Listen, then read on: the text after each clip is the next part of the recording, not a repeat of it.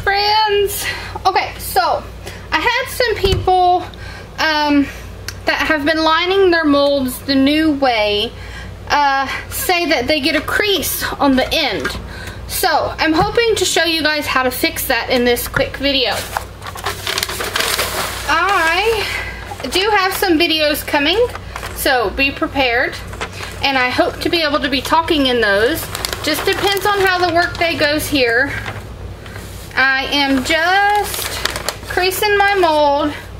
If you want to learn exactly how I line this mold, um, I do have a new video that is, you know, how to line it with no leaks. So I'm going to do all of my creases.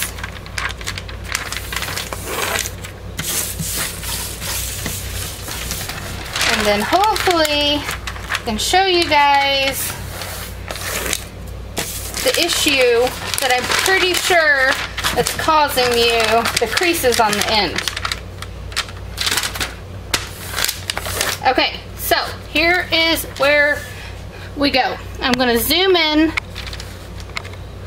All right, so I'm gonna put my finger in the in the corner here, like normal. I'm gonna come up with this. Okay, now, if I would just press this down and you know, make my creases, um, I would get the crease on the inside of the soap that you guys are talking about. Not sure if you guys can see this or not, but do you see this fold right here is not over here where it should be. I need to take and move it to where it lines up with this one through here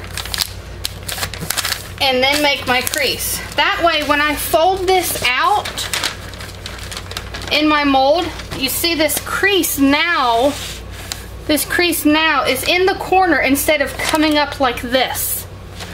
So let's do the other side. I keep looking at the camera to make sure I'm in view. I hope I am. Can't tell. I am. Sort of. I'm gonna do this one. And again, I just make sure that I'm all lined up right here before I make my crease. Same on this side.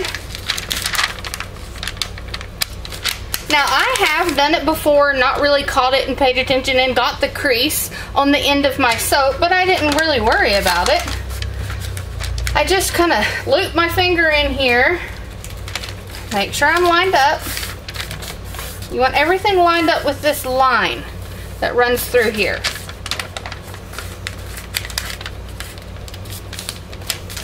And then I'll grab my mold. And this is how I drop it down in here. This is the double mold. I'm going to zoom you out some. This is how I drop it in.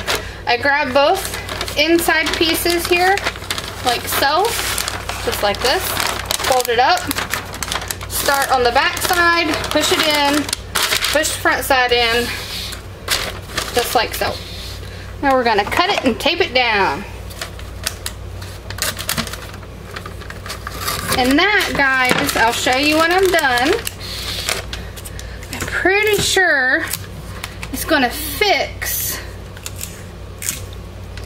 the issue some of you guys were talking about in the Facebook group about having a crease on the end of your soap.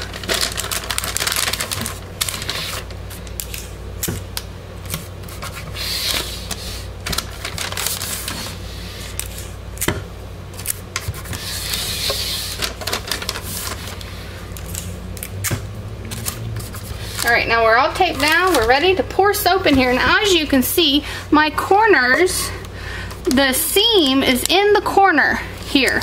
It's not coming out, which means when it comes out a little bit, soap can kind of easily get back behind there. But when it's in the corner like that, soap does not get in there. So that's how you line the mold with no leaking. All right, guys, talk to you later. Bye-bye.